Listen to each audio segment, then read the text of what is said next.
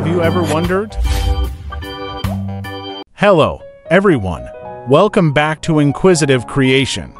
My name is Gilo, and I will be your trusted guide on things that you ever wondered about. Together, let's unravel the secrets of our existence and marvel at the incredible wonders that surround us. Today, we're diving into the incredible world of DNA and human genetics. It's a topic that not only unravels the mysteries of our existence, but also holds the key to understanding various aspects of life itself. So, grab your lab coats and let's embark on this scientific journey together. Let's start with the basics. DNA, or deoxyribonucleic acid, is the fundamental building block of life. Found in the nucleus of our cells, DNA carries the genetic instructions necessary for the development, functioning, growth, and reproduction of all known living organisms. Picture it as the intricate code that makes each and every one of us unique. Now, let's talk about the structure of DNA. It's often referred to as a double helix, a beautiful spiral staircase-like structure. Each step of the staircase consists of pairs of nucleotides, adenine pairs with thymine T, and guanine G pairs with cytosine C. This elegant structure is the blueprint of life and it's mind-boggling to think about the immense amount of information encoded within it. The complete set of genetic material in an organism is called its genome. In humans, this vast and intricate collection of DNA is known as the human genome. It's like a biological encyclopedia that contains around 20 to 25,000 protein coding genes, each responsible for specific functions in our bodies. In the early 2000s, the Human Genome Project made headlines by successfully mapping the entire human genome. This monumental achievement opened doors to a new era of scientific discoveries, allowing researchers to understand genetic variations, potential diseases, and even clues about human evolution. One of the most fascinating aspects of DNA is its role in inheritance. Our genes, the segments of DNA that code for specific traits, are passed down from generation to generation. This process is the reason you may share certain characteristics with your parents, grandparents, and so on. Genes come in different forms or alleles. Some traits are dominant, meaning they only need one copy of the gene from either parent to be expressed. On the other hand, recessive traits require two copies of the gene, one from each parent, for the trait to manifest.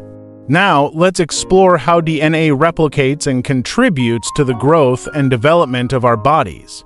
During cell division, which occurs throughout our lives, DNA must be faithfully copied to ensure the formation of healthy new cells. DNA replication is a marvel of precision.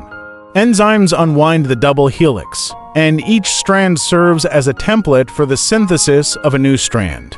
The result is two identical DNA molecules, each containing one original strand and one newly synthesized strand. While DNA replication is highly accurate, occasional errors can occur leading to genetic mutations.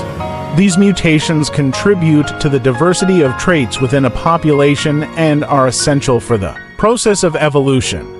There are different types of mutations, ranging from single nucleotide changes to larger structural alterations. Some mutations have no noticeable effect, while others can lead to genetic disorders or provide a survival advantage in specific environments. The understanding of DNA and genetics has far-reaching implications for various fields. Let's explore some of the practical applications that arise from this scientific knowledge. In the medical field, genetic information is crucial for personalized medicine, allowing doctors to tailor treatments based on an individual's genetic makeup. Genetic testing can also help identify predispositions to certain diseases, enabling proactive health care.